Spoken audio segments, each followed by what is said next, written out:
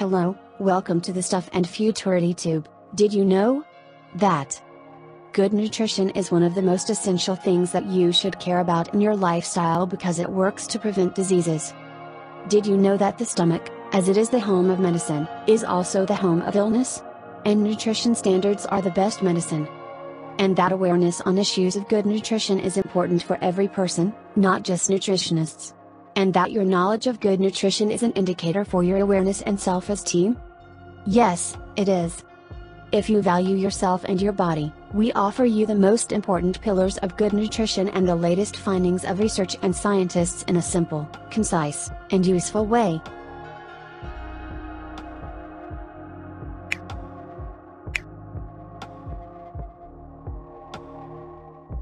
There is no shortcut to enjoy good health, but there are some simple practices you can easily incorporate into your lifestyle, no matter how busy you are. We will guide you to nourishing your body, optimizing your well being, and, best of all, getting the vitamins your body needs by eating delicious and real food. About changing your perspective. I can't versus I don't. So, an example would be say you're at a friend's house and they offer you cake or pastries or something like that. Instead of just saying, I can't eat that. Try saying, oh, I don't eat that, but thank you. When you word things differently, you're actually telling yourself and giving yourself credit for believing in not eating that particular food item. When saying things like, I can't eat that, it's actually telling yourself, I can't, I'm punishing myself.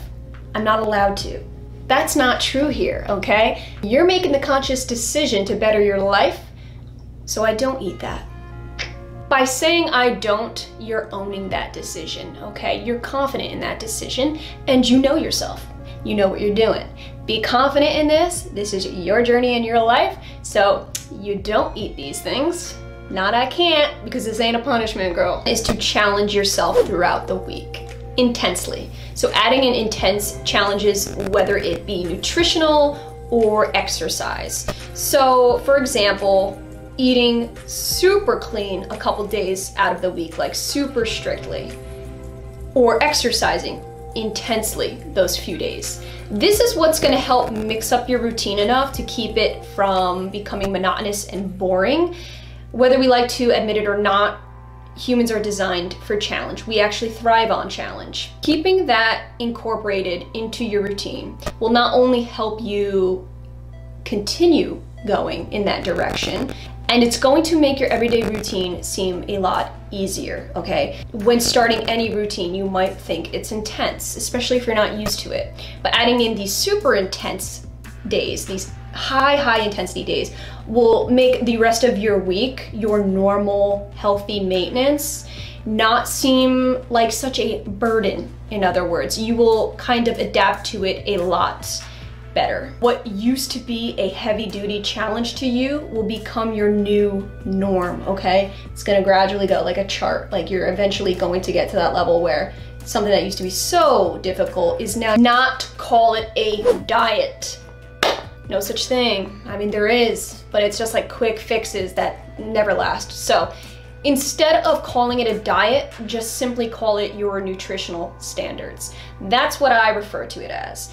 A diet is something that has an end line, okay? That eventually will come to an end. You don't want that. You want this to be an ongoing, permanent lifestyle change. I know that people overuse that term diet and it's almost like the norm it's just what we as a culture have evolved into just constantly saying. But don't be afraid to just stand outside of that, outside of the average, the norm. It's okay, you should be proud of being able to say this. You diet when there's events coming up, okay? Uh, you diet for a wedding or a vacation, you know, just temporary little fixes. But what happens when those days are over? Nutritional standards are a guideline, a permanent guideline that you must meet every single day in your life. That's what makes it a standard, okay? Keeping that standard in mind as something that defines you in your lifestyle is what's gonna keep you believing in it, and it's what's gonna keep you from falling off, okay? This is, this is all about permanent. is to think long term versus short term. So do not get it twisted. You should be thinking both. Okay, you should have short term goals, absolutely, because that's what's going to help you right here, right now, every day to slowly get to those long term goals. Long term meaning things like how you see yourself as you age, all right? Thinking long term in that sense, not thinking about how long it's gonna take you to drop X amount of weight. Get that out of your head. Don't think like that, all right? That's gonna discourage you. Think long term as in, five, ten years from now, I will potentially be seeing doctors less. I will be feeling 10 times better, things like that. Yeah, that's a long term investing idea. But having long term just by itself isn't good either, because, like I said before, it can get very discouraging. You have to have your short term goals. View long term as like a ladder, and short term being as the rungs in the ladder. You can't have one without the other. So, for me, long term would be things like not having to go see a doctor when I'm middle to late age, okay? Avoiding doctors. That's my long term goal.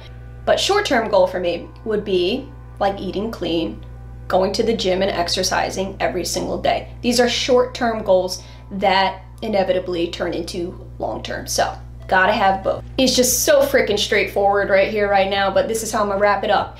Giving yourself time. Patience is a virtue. We all know that. You gotta give yourself the much needed, respectful time. Things take time, great things especially. So, investing in yourself isn't a one and done, it is a long term, time invested thing. So, once you learn pretty much how to change and shift your mindset, change your perspective on health, fitness, wellness, that is the beginning of changing your entire life. In Eat Your Vitamins series, you will learn exactly what vitamins your body needs, how much you should consume, the best way to get your vitamins, and why you should be getting them from natural food rather than from costly supplements or processed compounds in a bottle. Noticing that, most minimally processed foods are bursting with vitamins, minerals, and nutrients. How many more people have to die, though?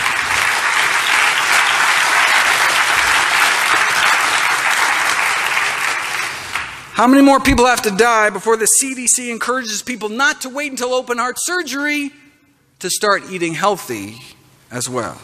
How long is that going to take, though? Just like we don't have to wait until our doctors quit smoking to quit ourselves, we don't have to wait until our doctor takes a nutrition class or cleans up their own diet for changing our own eating habits. Look, it's not your doctor's fault, right? Writes a group of prominent physicians. There is a severe deficiency of nutrition education at all levels of medical training. Right? We just never taught it. Right?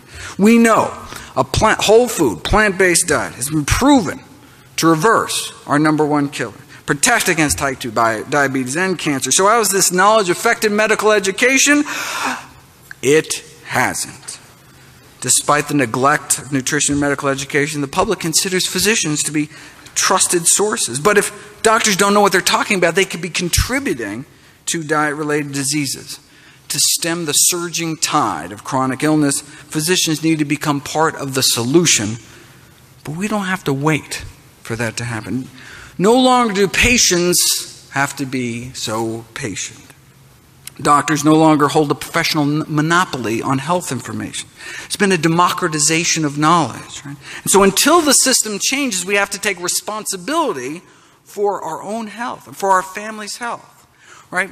We can't wait for society to catch up to the science because it's a matter of life and death.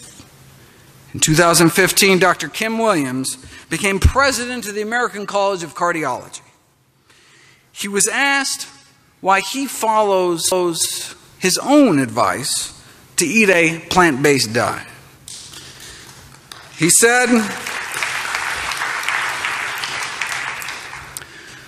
I don't mind dying, Dr. Williams replied. I just don't want it to be my fault. Thank you.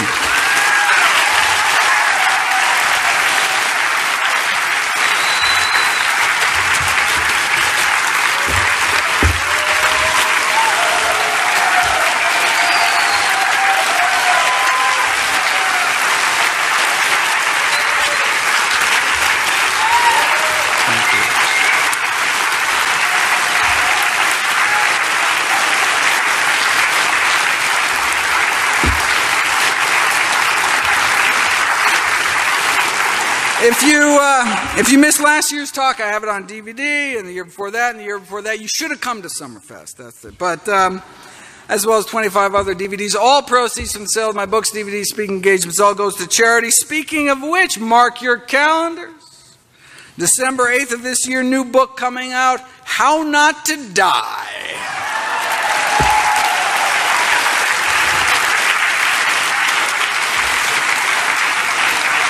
Uh, December 8th, very excited about not only a compilation of all my work with all the science, thousands of citations, but also a practical guide. I go through my kind of daily dozen checklist of all the things I try to include my own diet, how much greens to eat, how much beans to eat, how much exercise, how much sleep. In short, what is the best way to get more energy, a stronger immune system, glowing skin, and overall better health? Supplements are not the answer. It's through the foods you eat, not the pills you take. But, why? 1. According to top nutrition experts at Harvard Medical School, as well as numerous research studies. Most nutrients are better absorbed and used by the body when consumed from real food rather than a supplement. However, many people need to take pills, powder, and supplements to obtain nutrients and fill the gaps in their diets. Hope these will give more energy, prevent from catching a cold in the winter, or improve the skin or the hair. But actually, the majority of supplements are synthetic and unregulated and may not completely be absorbed by your body. Worse, some are contaminated with other substances and contain ingredients unlisted on the label. For example, a recent investigative report found that there are heavy metals in 40% of 134 brands of protein powders on the market. With little oversight and regulation, taking supplements is a gamble and usually expensive. It only should be done with caution and the guidance of a dietitian. 2. The multi-billion dollar supplement industry has capitalized on people's desire to be healthy and find that silver bullet that will cure their ills or help to heal their health problems. The truth is taking supplements is often unnecessary and it can be even harmful. There are, of course, an exception to every rule, and there are definitely cases when supplementation is needed and can be beneficial, such as with specific medical conditions, for a clinical deficiency, during pregnancy when nutritional needs greatly increase, and even for some nutrients that are difficult to get from food sources, such as vitamin D. To safely use supplements be sure to talk with your doctor and make an appointment with a registered dietitian before you begin any dietary changes.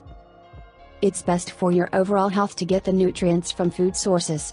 Since early times, civilizations have observed the powerful, nurturing, and healing effects of the food we eat. Many of the illnesses we face nowadays have their root causes due to lack of good nutrition. Many people are confused about what, when, and how should eat. When you take the time to slow down, you should learn how to nourish yourself with whole and real foods, and observes how you feel. Then, you can change your health and your lifestyle. Begin with an understanding of the needs of your body to function at its best, and you should know that. Food sources are more bioavailable and are better absorbed by the body. Food considered as part of a nutrient dense package and has a lot of benefits rather than the nutrient alone. Whole foods contain many compounds which haven't been recognized by scientists, but we know they have many positive effects. And what makes whole food so healthy is the synergy of those nutrients and how they work together, rather than single compounds. We gonna start Eat Your Vitamins series next week, so, what are you thinking about vitamins? To get that train going, you want it to last you a long time. If you're not already definitely hit the bell, subscribe button for new videos, every single week.